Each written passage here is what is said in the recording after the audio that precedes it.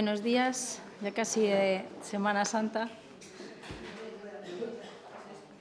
Comenzamos la rueda de prensa posterior al Consejo de Gobierno en que, sin duda, uno de los principales temas eh, que, se han podido conocer eh, están vinculados a la, Consejería de Empleo y a uno de los eh, compromisos del presidente en cuanto a la modificación de la ley de, cooperativas para simplificar y agilizar el trabajo de estas importantes entidades en nuestra comunidad autónoma. Por eso me acompaña el, consejero de Empleo que nos va a exponer el, proyecto. Carlos. Sí, muchas gracias, consejera. Bueno, probablemente porque tienen ustedes la documentación, lo que hacemos hoy es dar cumplimiento en un primer paso a uno de los compromisos de investidura del presidente Juan Vicente Herrera, que manifestó su compromiso de impulsar la modificación de la Ley de Cooperativas en Castilla y León con el objetivo básico por un lado, de agilizar y flexibilizar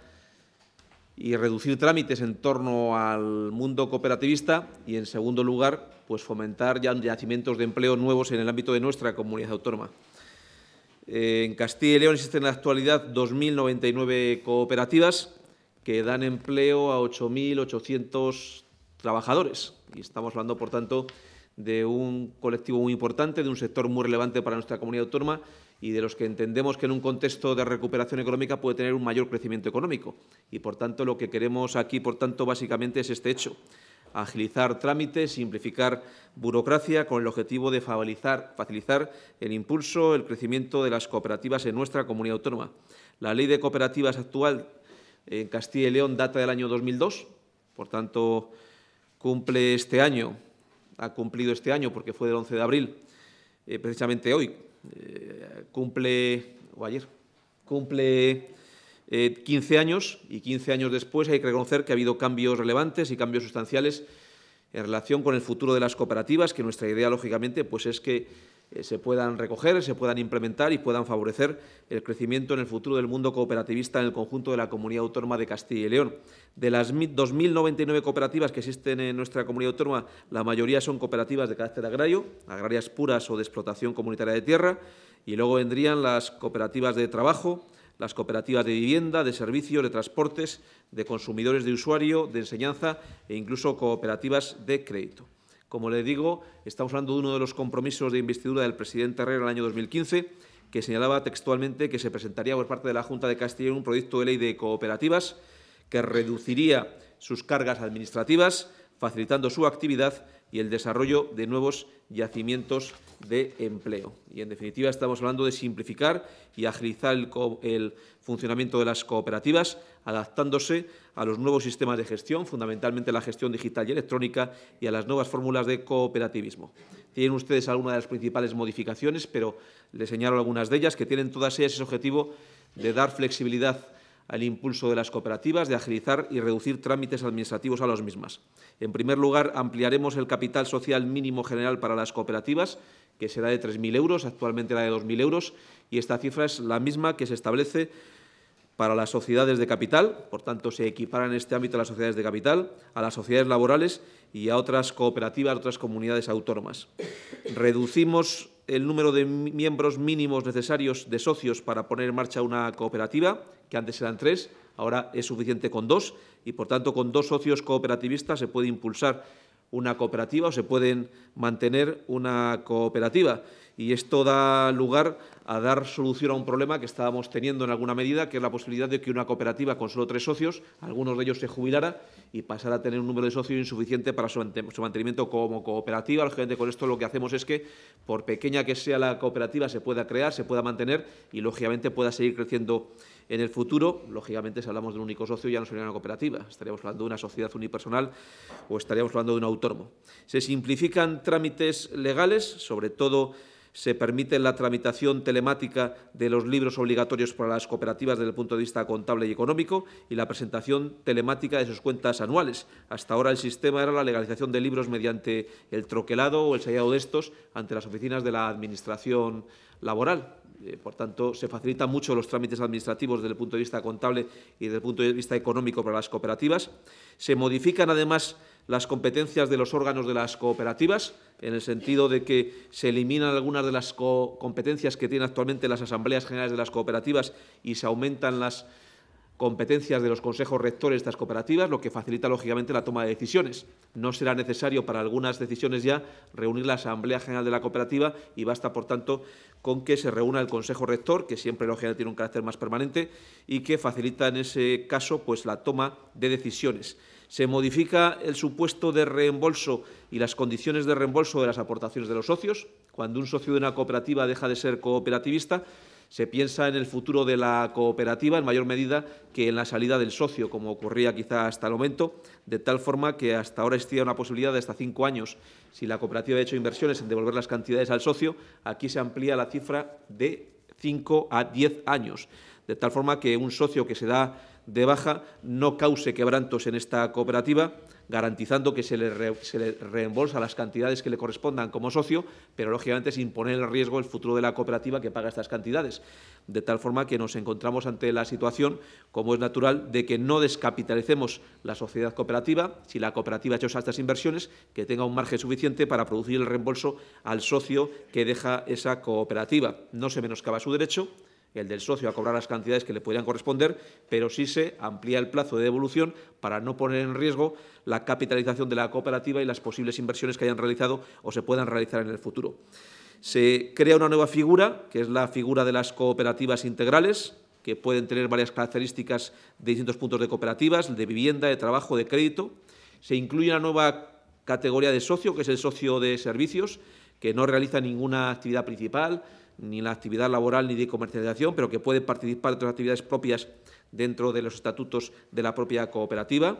Se establece un procedimiento abreviado y simplificado para que, a través de una sola escritura en la Asamblea General, se pueda acordar la disolución, liquidación o extinción de una sociedad cooperativa, que hasta era un procedimiento muy largo, muy costoso en el tiempo. Se establece un procedimiento más simplificado y más abreviado con una única escritura pública. Se adapta el texto a la terminología sobre procedimiento administrativo, sociedades de capital y procedimiento concursal. Y en el ámbito de las sociedades de trabajo, pues estamos viendo que cada vez hay más personas por cuenta ajena que trabajan en las sociedades de trabajo. Hasta ahora lo que ocurría es que cuando el 30% del trabajo y de las horas de trabajo de una cooperativa era por personas que no son socios de la cooperativa, sino personas por cuenta ajena de esta cooperativa, dejaba de ser cooperativa porque lógicamente la mayor parte o una parte, que era el 70%, inferior al 70%, ya no era trabajo realizado por los propios socios cooperativistas, ahora esa cifra se eleva hasta el 50%, de tal forma que se permite a una cooperativa crecer no solo a través de la incorporación de nuevos socios laborales a la cooperativa que hacen trabajo en la cooperativa, sino incluso contratando personal por cuenta ajena hasta un máximo del 50% del tiempo de trabajo, lo que hace que la cooperativa pueda crecer, pueda contratar gente que quizá no quieran ser socios de la cooperativa, pero que son personal por cuenta ajena de esta cooperativa, no pierde la condición de cooperativista siempre que al menos el 50% de las horas trabajadas sean horas trabajadas por parte de los propios socios cooperativistas. Flexibilizamos esta medida porque, claro, cuando surgieron las cooperativas en su momento, pues la mayor parte de las horas trabajadas sean por parte de los propios socios cooperativistas. Pero la perspectiva del tiempo, los años pasados en algunas cooperativas, hacen que queden los socios quizá fundadores y que quizá algunas de las nuevas personas que trabajan en la cooperativa pues quizá no quieren ser socios, simplemente personal por cuenta ajena, pero no quieren la vez la cooperativa perder esta condición de cooperativa con todas las ventajas que pueda suponer y esto lo que hace es facilitar esa estructura pensando en el futuro. Y con esto es un poco el documento básico de lo que contiene esta iniciativa que ahora tramitamos en la forma de anteproyecto de ley que ustedes tienen una documentación más detallada en el documento que se les entrega. Simplemente señalarles que a partir de ahora lo colgaremos en la página de Gobierno abierto para iniciar, lógicamente, el procedimiento de aportaciones por parte del conjunto de ciudadanos de Castilla y León. Daremos lugar a una audiencia sectorial que ya se ha producido, pero la ampliaremos a colectivos del sector y luego, lógicamente, recabaremos el informe tanto del Consejo de Cooperativas de Castilla y León como del Consejo Económico y Social y, finalmente, cuando tengamos los informes tanto jurídicos como desde el punto de vista del Consejo Consultivo, pues lo enviaremos como proyecto de ley a las Cortes de Castilla y León. Pero lo importante es que a partir de este momento la iniciativa que les planteamos, el anteproyecto de ley queda colgado en la página de Gobierno abierta y, por tanto, queda eh, sujeto pues, a las iniciativas, a las ideas, a las propuestas, a las sugerencias y también a las críticas, como no, del conjunto de los castellanos y leoneses para que aquellas que podamos incorporar en el conjunto del texto lo hagamos antes de su remisión definitiva a las Cortes de Castilla y León. segundo... Ah, sí, perdón. Y luego hay una, eh, otro tema que es sin duda menos relevante, pero es eh, desde el funcionamiento ordinario de la propia de la propia Administración Pública, que la subvención anual que se entrega a la Fundación Serla. En este caso es por el mismo importe que el año pasado, porque además estamos, como saben ustedes, en una situación de prórroga presupuestaria y, lógicamente, no hay ninguna modificación hasta que no se establezca finalmente la aprobación del proyecto de ley de presupuestos. Pero para su fundamento ordinario sí que se les entrega la cantidad, igual que el año pasado, de 583.000 euros. Sí decirles que el año 2016, en los conflictos colectivos, la Fundación Serla intervino en 256 procedimientos que afectó a 2.941 empresas y que esto benefició a su vez a casi 105.000 trabajadores de Castilla y León. Muy bien, pues muchísimas, muchísimas gracias. Eh, además de los expedientes de la Consejería de, Empleo, la Consejería de Agricultura y Ganadería ha presentado para su aprobación en el Consejo de, Gobierno la autorización para realizar obras de infraestructura rural en la zona de concentración parcelaria de Támara de Campos, en Támara Campos 2, en Palencia. la cuantía es en torno a los 2 millones de euros y permitirá la construcción de una red de caminos de 59,6 kilómetros, la creación de más de 68 kilómetros de desagües, la eliminación de acequias del antiguo sistema de riego y las obras de restauración del medio natural. Se trata de una obra que va a beneficiar a 214 agricultores de la zona y que, una vez eh, concentradas las 2.377 hectáreas, eh, permiten que las parcelas incrementen el tamaño hasta en cuatro veces más. Eh, de 2.000 parcelas se pasa a 607, como digo, de más de cuatro hectáreas cada una cuando apenas superaban la hectárea. La Consejería de Sanidad ha presentado para su aprobación dos expedientes. El primero de ellos por un importe de 401.395 euros para el suministro de medicamentos en el complejo asistencial de Salamanca, fundamentalmente aquellos utilizados en tratamientos vinculados eh, con las anemias por parte del Servicio de Farmacia Hospitalaria. Y, en segundo lugar, la contratación de analíticas destinadas a diagnóstico genético que, eh, por su escasa frecuencia o complejidad, eh, necesitan pruebas en otros laboratorios. Se trata de eh, una contratación por dos años y un importe de 215.556 euros. La Consejería de Fomento y Medio Ambiente ha presentado tres expedientes para su aprobación el primero de ellos para realizar obras de rehabilitación del Teatro Cervantes de la localidad soriana de Navaleno, propiedad del Ayuntamiento, que consistirá en la adaptación a los requerimientos de seguridad, accesibilidad y funcionalidad exigidos por la vigente normativa técnica al tratarse de un edificio catalogado. 632.359 euros permitirán esta rehabilitación. En segundo lugar, la aprobación de subvenciones por importe superior a los 111.000 euros para distintas entidades en materia de protección civil. Se trata, eh, por un lado, de actuaciones orientadas a organizaciones de voluntarios que actúan en situaciones de emergencia, eh, como pueden ser la Unidad Canina de Salvamento de Castilla y León del Grupo de Rescate Espeleológico y la Montaña de Burgos, eh, la Brigada de Salvamento del Bierzo Alto, la Asociación Provincial de Colaboradores de Protección Civil de Valladolid o la Asociación de Salvamento y Rescate de Castilla y León, además de la Asociación Cultural de Miembros de Protección del Barco de Ávila o la de eh, Montonieve de Urbión en Soria. Por otro lado, eh, también dentro de esta iniciativa en,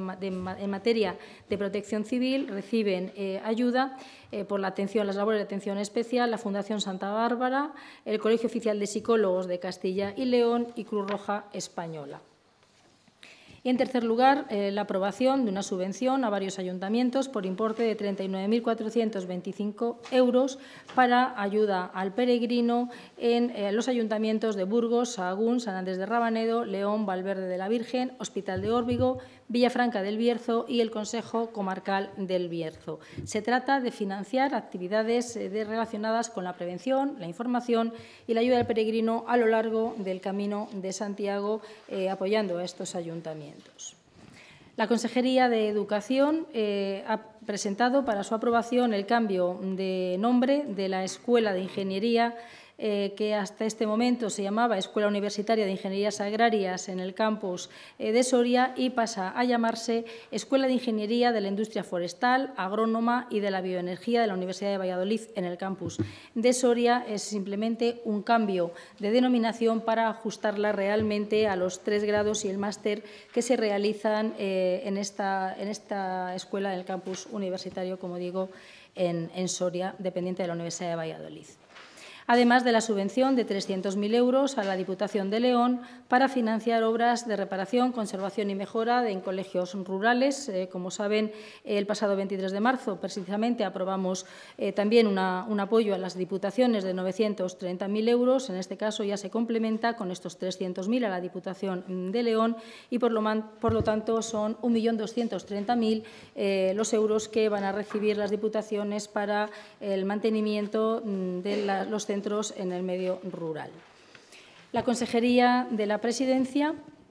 ha presentado para su aprobación eh, la concesión de 90.000 euros para ayuda humanitaria dirigida a la población afectada por el conflicto de Siria en el marco, lógicamente, de la cooperación al desarrollo. Se trata de continuar apoyando a la población afectada por este conflicto a través de intervenciones en los campos de refugiados en Siria, en Jordania y en Grecia, dirigidas precisamente a la población más vulnerable afectada por este eh, dramático conflicto. Tres intervenciones, dotadas cada una de ellas con 30.000 euros, que serán gestionadas eh, por tres entidades también especializadas. La primera de ellas, a través de UNICEF,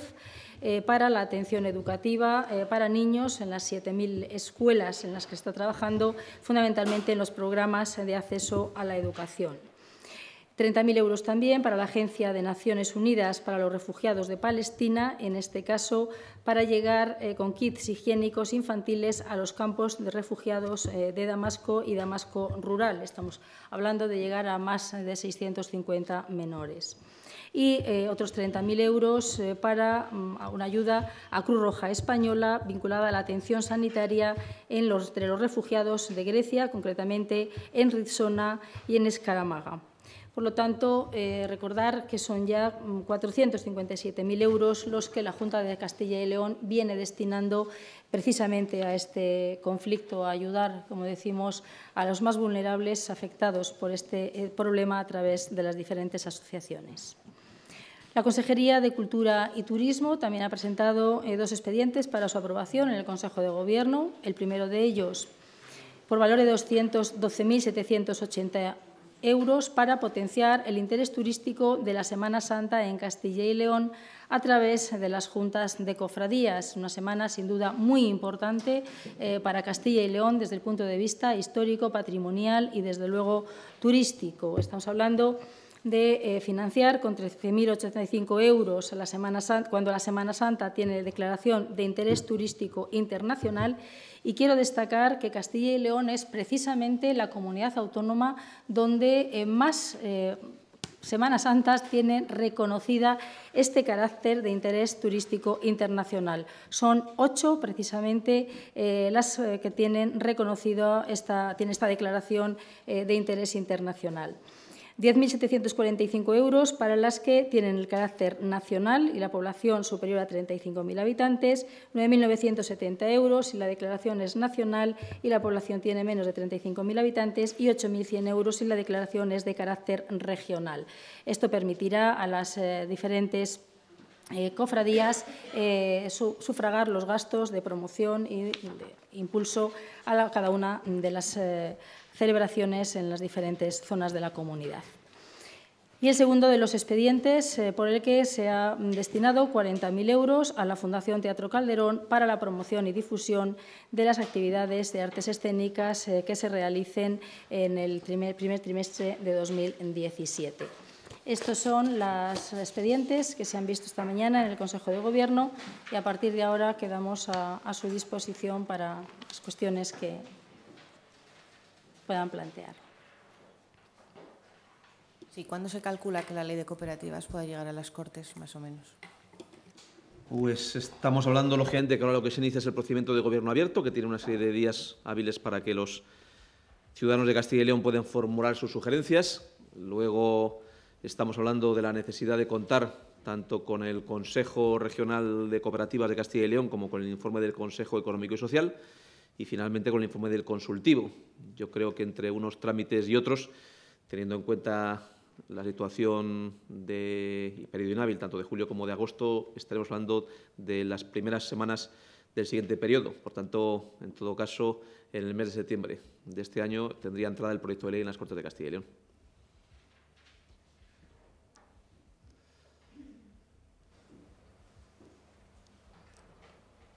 No sé si hay algún objetivo numérico de incrementar el número de cooperativas o de socios, si hay algún objetivo que se pueda lograr con esta, con esta ley. Bueno, lo que hace es facilitar y simplificar trámites. Y, lógicamente, lo que hace es animar a las cooperativas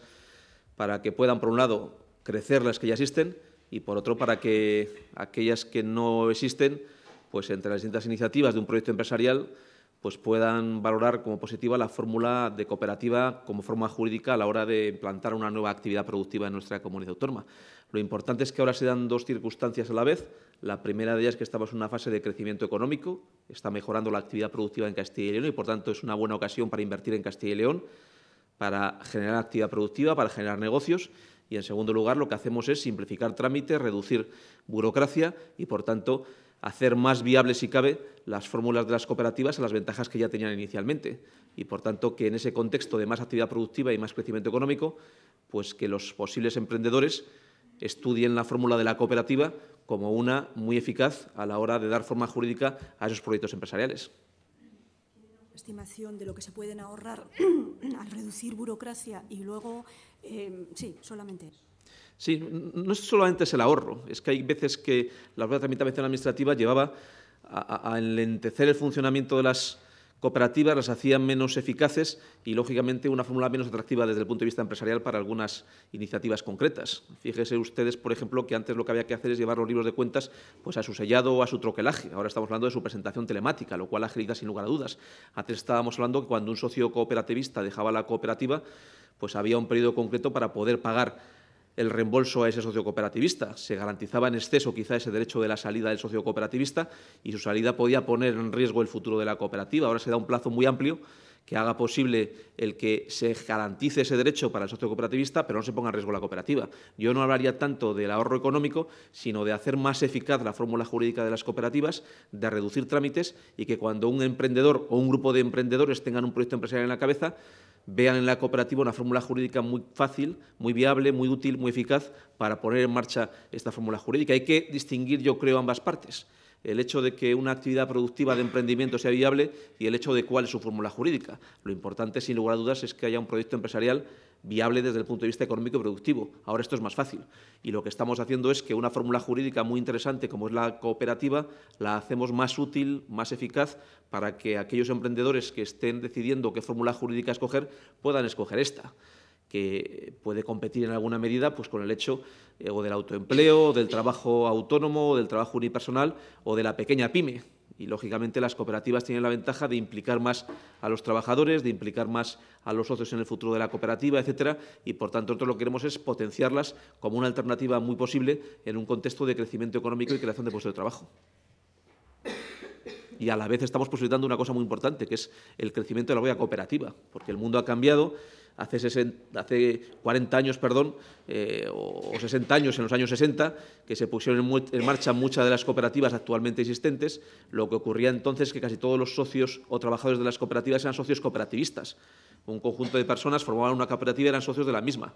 Hoy en día a lo mejor quedan esos socios o hijos de los socios, pero muchos son trabajadores por cuenta ajena. Lo que hacemos es frente a esta realidad, que es que haya cooperativas donde los propietarios sean socios trabajadores, pero donde puede haber trabajadores que no sean socios y sean trabajadores por cuenta ajena.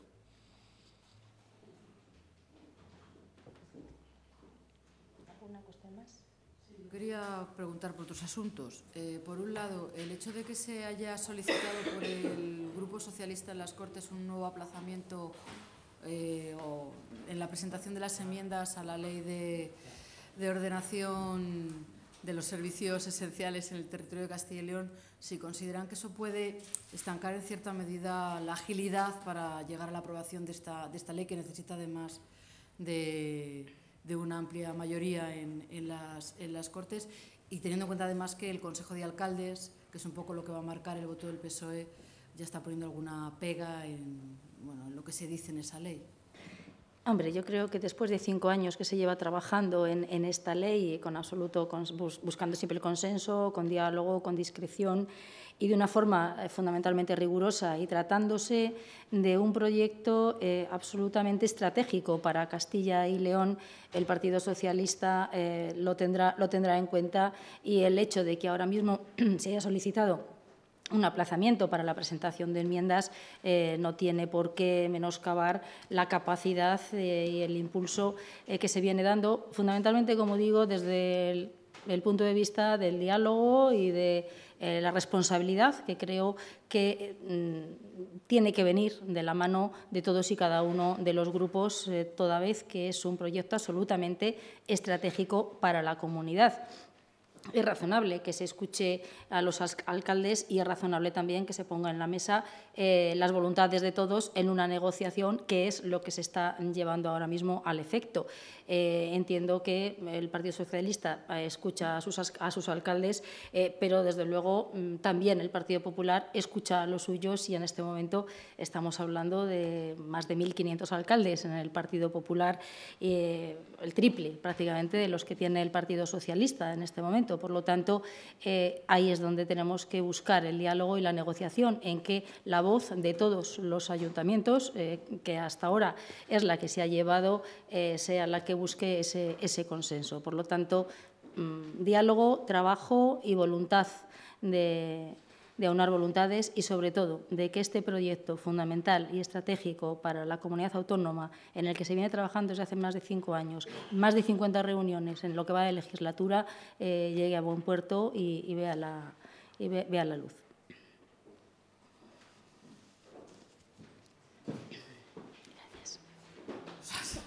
Eh, Bruselas ha anunciado que la intención de que se empiece a, obligar el pago las vías de alta capacidad, autovías y autopistas en el caso de España, eh, peajes tanto a coches, a vehículos como al transporte de mercancía, a camiones. Yo no sé si eso la Junta... porque hay carreteras de alta capacidad en Castilla y León que dependen de la Junta. Yo no sé si eso sería una aplicación eh, nacional, si se, tendría que aprobar por parte de la Junta en lo que atañe a las, carreteras de la comunidad. No sé exactamente cuál ha sido la decisión de, Bruselas, ni en qué orden eh, se ha determinado, ni si afecta a las nacionales o a las autonómicas. Eh, no, conozco a fondo el, el, asunto, por lo tanto es preferible esperar, analizarlo y ver qué es lo que se plantea y, en consecuencia, adoptar las medidas que haya que adoptar, lógicamente estudio. Sí, en, algunas autonomías, en concreto en Madrid, pues está habiendo un control de las actividades extraescolares que hacen los niños para evitar que haya cosas chocantes en cuanto a división por géneros. No sé si en Castilla y León también la consejería tiene esa encomendaba esa gestión de control y si todo funciona correctamente o hay Realmente el, control de las actividades es permanente, no hay eh, controles específicos. De hecho, bueno, pues los programas de conciliación que se plantean son programas absolutamente definidos desde la propia eh, Consejería también de Familia e Igualdad de Oportunidades en colaboración con el sistema educativo. Por lo tanto, el seguimiento es, permanente y hay actividades conjuntas, como no puede ser de otro modo, por niños y niñas. La última. Aprovechando la presencia del consejero, eh, el Ayuntamiento de Valladolid y los empresarios van a solicitar formalmente que no se traslade la oficina de, del ECIL que hay en San Pablo a las afueras de, la ciudad, vamos, sacarla del, del, centro de la ciudad, si esa posibilidad cabe. Y por otra parte, la consejera, como portavoz, eh, lo que pide en definitiva el Ayuntamiento es que se acabe con esa política de sacar las, oficinas de la Administración Pública del centro porque para los empresarios y para los comerciantes consideran que es una pérdida de, pues inversión en la zona centro para apostar por la, periferia. Sí, en este momento en la ciudad de Valladolid la Junta de Castilla tiene cuatro oficinas de empleo, cuatro oficinas de LECIL. Está hablando usted concretamente de una ubicación en el entorno de la Plaza de San Pablo, que lo cierto es que estamos hablando de una instalación que por sus condiciones son de una dimensión muy reducida desde el punto de vista del espacio que sería necesario, con unas condiciones de accesibilidad muy limitadas, tiene unas escaleras interiores de muy difícil acceso para personas con algún tipo de discapacidad o personas con algún tipo de dependencia y finalmente con unas instalaciones desde el punto de vista del trabajo que no reúnen las condiciones que a nosotros nos gustaría, tanto desde el punto de vista de luminosidad, de las condiciones de los baños, etcétera, etcétera. Y por tanto los servicios técnicos del ECIL lo que están analizando es las posibles ubicaciones donde mejor se dé servicio al conjunto de la ciudad de Valladolid y donde mejor se dé servicio a las personas que tienen que acudir al ECIL en condiciones de accesibilidad, en condiciones de las instalaciones y en condiciones también del tamaño de las mismas. Y, lógicamente, se buscará la instalación dentro de las que se puedan encontrar las que reúnan las mejores condiciones al respecto, teniendo en cuenta que nosotros, lógicamente, necesitamos algunas de un tamaño determinado, de unas condiciones de acceso y accesibilidad determinado, y unas condiciones, lógicamente, desde el punto de vista de una instalación donde se presta un servicio público también determinado. Pues en el centro siempre es más difícil, como ustedes conocen, porque a veces pues hay menos locales. Eh, lógicamente estamos hablando de la conveniencia de que estemos hablando de locales en planta baja, como es natural. Eh, los locales que se disponen no, son del, no siempre son del tamaño deseable, no siempre tienen el nivel de accesibilidad que fuera recomendable. Y también hay que tener en cuenta que ya existe alguna oficina del ECIL en el centro de la ciudad de Valladolid, donde lógicamente no se puede poner muy en la proximidad. Creo que hay una en la propia Plaza del Poniente, como ustedes conocen, y por tanto en ese contexto es en el que hay que tomar la decisión de buscar la mejor ubicación de las cuatro, de llegar al conjunto de los ciudadanos de Valladolid, allí donde residan, de dar mejor el servicio público y que las instalaciones tengan las mejores condiciones posibles. Sí que es verdad esto que usted plantean, que muchas veces eh, los locales del centro pues tienen alguna restricción en su uso pues algo más compleja que locales de nuevas edificaciones. Pero vamos a ver cuáles son los disponibles, cuáles podemos hacer a las mismas y qué condiciones tienen estas, estas instalaciones.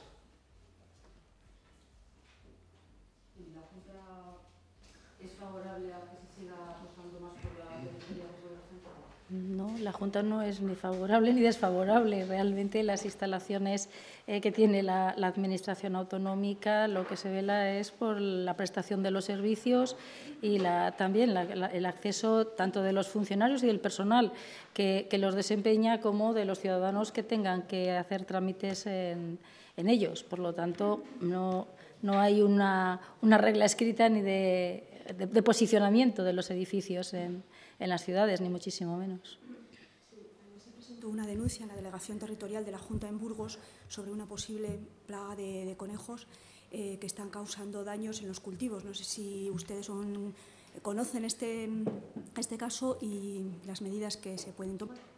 Sí, es una cuestión cinegética, porque sabe que los conejos son una especie de cinegética y, por lo tanto, desde la Consejería de, Medio Ambiente eh, se han adoptado las medidas de información, fundamentalmente teniendo en cuenta que eh, está autorizada la, caza y todas las eh, posibilidades de, extinción de, este, de este tema que están autorizándose, como digo, desde los servicios territoriales de medio ambiente y, fomento y por lo tanto es importante que eh, todas las personas que tienen la responsabilidad porque están en sus cotos y ven que hay eh, una superpoblación pueden solicitar esta autorización y es importante que se solicite. Y eh, por otro lado lo que corresponde a las cunetas o a los accesos a infraestructuras corresponde al, Ministerio y también desde la Consejería de Fomento y Medio Ambiente se han puesto en contacto con la delegación del Gobierno para avanzar y eh, que se puedan adoptar las medidas necesarias para evitar este tipo de situaciones. Sí, eh, hay diferentes alternativas. Trampeo, eh, uso de hurones, caza, hay varias, varias alternativas. Sí, es que no hay otra opción más que la caza, ¿no? Tanto en lo que el responsable es el propietario del coto o de, la parcela. En unos casos eh, las autorizaciones están, insisto, hay que solicitarlo, no hay ningún problema en autorizarlo con carácter inmediato y eh, la limitación del el uso de cualquiera de estas eh, posibilidades está en aquellas zonas próximas a infraestructuras o próximas a un medio urbano, es decir, de población, lógicamente. ¿no? Entonces, también en, estos casos, pues eh, lo que se ha hecho desde la Consejería es ponerse en contacto con los responsables para que se vayan adoptando las medidas pertinentes. porque este, creo que no está abierta la, veda. Por eso, precisamente, se tiene que pedir la autorización. Teniendo en cuenta que se habla también de tierras agrícolas, ahí está permitido el caso de la utilización de veneno, no lo sé. no, no, es que es una especie cinegética cazable, no es un... No, no, se considera plaga porque es una especie cinegética. Por lo tanto, las medidas son como especie cinegética de, de caza. Está así regulado a nivel nacional. Sí, quería preguntarle por los, los, dos menores de la madre sexagenaria de Burgos. No sé si ya están con, con una familia de acogida o todavía están. Eh, están atendidos y son eh, a cargo de los servicios sociales de la, de la Junta de Castilla y León. Por lo tanto, eh, lo que se velará es por el, interés del menor, como siempre se hace en estos casos, de la mano del Ministerio Fiscal y con todas las garantías para que los eh, pequeños vivan en las mejores eh, condiciones y desarrollen su vida en las mejores condiciones posibles. Van a estar con los servicios sociales, eh, pero cabe la, la, posibilidad de que sean acogidos por la familia extensa, por otra familia, otro modelo de acogimiento. Sí, caben todas las posibilidades, pero en este momento se acaba de proceder a la, retirada por parte de los servicios sociales hace una semana y por lo tanto pues habrá que estudiar todas las alternativas siempre con criterio absolutamente técnico y con el de la mano del Ministerio Fiscal para velar por el interés superior del menor. Por lo tanto, y con toda la discreción del mundo, porque estamos hablando de dos bebés y estamos hablando de, pues, dos personitas que yo creo que merecen eh, toda, nuestra discreción y todo nuestro apoyo. Y con la garantía de que está en las mejores manos, que es en la de los profesionales en este momento. Sí, yo le quería preguntar, en Palencia hay problemas con el riego por la falta de agua, la situación. Yo no sé si eh, incluso desde la Junta también, ya que pueda llegar en el futuro, si sigue sin haber lluvias, como todo apunta, en las próximas semanas, que pueda llegar incluso a la población en general con algún tipo de restricción. No, realmente está más afectado el campo, la situación es eh, tremenda eh, de, sequía. Se autorizó una prueba para la llegada de agua desde la zona de Riaño y bueno, pues por determinadas eh, cuestiones que se están analizando desde la Confederación Hidrográfica no han llegado a la zona regable, sino que se han debido utilizar de otro modo en el, trayecto intermedio y es lo que se está analizando en este momento, pero es cierto que tendría que empezar a llover ya mismo y estar lloviendo intensamente durante un tiempo prolongado para poder resolver esta, esta situación, una situación eh, complicada para, para el campo, sin ninguna duda, y difícil de solventar. Mm, es cierto que todas las medidas que se están adoptando dentro del Plan Estratégico de Infraestructuras Agrarias. El pasado fin de semana, precisamente, hemos conocido que se ha constituido una comunidad regantes en el, Carrión, histórica, porque venía diez años eh, paralizada. Bueno, pues el, poder modernizar las infraestructuras hará eh, que eh, la situación, a pesar de que el tiempo venga tan malo como este año no sea tan dramática porque se optimiza el uso del agua y por lo tanto en momentos en los que hay agua suficiente eh, no se desaprovecha, por decirlo de algún modo, sino que se optimiza su uso y por lo tanto se puede utilizar en momentos eh, en los que la situación es tan complicada como la que está siendo ahora. ¿no? Pero poco más que la declaración de sequía en la que el Ministerio ya está trabajando y veremos a ver a lo largo de este, de este mes y el seguimiento permanente por parte de la Confederación Hidrográfica del Duero, que, que es quien determina todas estas cuestiones. ¿La posible declaración de zona catastrófica, eso cuando llega? Es otra cosa. En principio es la declaración de, sequía y de zona afectada y eso vincula eh, de entrada el que los agricultores estén exentos de determinados pagos y determinados eh, temas fiscales, eh, beneficios fiscales, por decirlo de algún modo, fundamentalmente los derivados del uso del agua a la Confederación Hidrográfica, porque evidentemente no se está pudiendo utilizar el agua. ¿no? Entonces hay que ir viendo cada una de las fases en las que va evolucionando y sobre todo pues esperar a ver si la primavera viene un poco lluviosa y, resuelve la situación porque ya ha habido algunos cultivos que lógicamente pues por el aplazamiento de las fechas eh, van a estar complicados. ha pedido que se amplíe el plazo para poder concurrir las ayudas de la PAC precisamente por esto. No sé si esto es posible. Las ayudas de la PAC, esto, bueno, precisamente. Bueno, eh, precisamente respecto a las ayudas de la PAC que hemos conocido esta semana, eh, la evolución de pagos de todas las comunidades autónomas y Castilla y León es la primera comunidad autónoma en porcentaje de pagos, es decir, se ha pagado todo lo autorizado por el, por el FEGA en este momento y somos la única comunidad autónoma que lo ha hecho con un pago superiores al 88% y eh, se están presentando las solicitudes, estamos por encima del 60% de, de, solicitudes ya iniciadas. es casi un 30% más de lo que teníamos el año pasado por estas fechas pero es verdad que hay comunidades autónomas que van muy tarde, van con retraso en la presentación de solicitudes por determinadas cuestiones y que en la reunión preparatoria en Madrid, en la que es donde que se solicitan estas cuestiones, han presentado y han planteado el que se amplíe el plazo de presentación de solicitudes hasta el 15 de mayo. Desde luego a Castilla y León tampoco le perjudica. Si hay comunidades autónomas que necesitan que se amplíe el plazo de solicitudes de la PAC, lo vamos a apoyar. No tiene ninguna lógica no apoyarlo. Es cierto que cuanto antes se presenten las solicitudes, más sencillo es para los técnicos el poder hacer los pagos mm, en plazo y, por lo tanto, es, eh, hay más garantías eh, de que los pagos se puedan hacer si las solicitudes se presentan en el plazo que es hasta el finales de mayo, el que está en este momento previsto. Pero, insisto, ha habido comunidades autónomas que lo han planteado en la preparatoria. Cuando se convoque la conferencia sectorial lo apoyaremos porque si lo necesitan tampoco perjudica a nadie. ¿no? No sé si lo he entendido mal antes, ha dicho que esas pruebas del trasvase de León a Palencia del agua eh, del Riaño eh, están fallando o que no se han No, había ha habido un, está calculado un porcentaje de agua que tenía que llegar a Palencia y por lo que sea pues eh, ha utilizado por, eh, en, el, en el trayecto del del desagüe. Por lo tanto, eh, está ahora mismo la Confederación haciendo el análisis para ver exactamente por qué ha ocurrido, ocurrido esto. ¿no?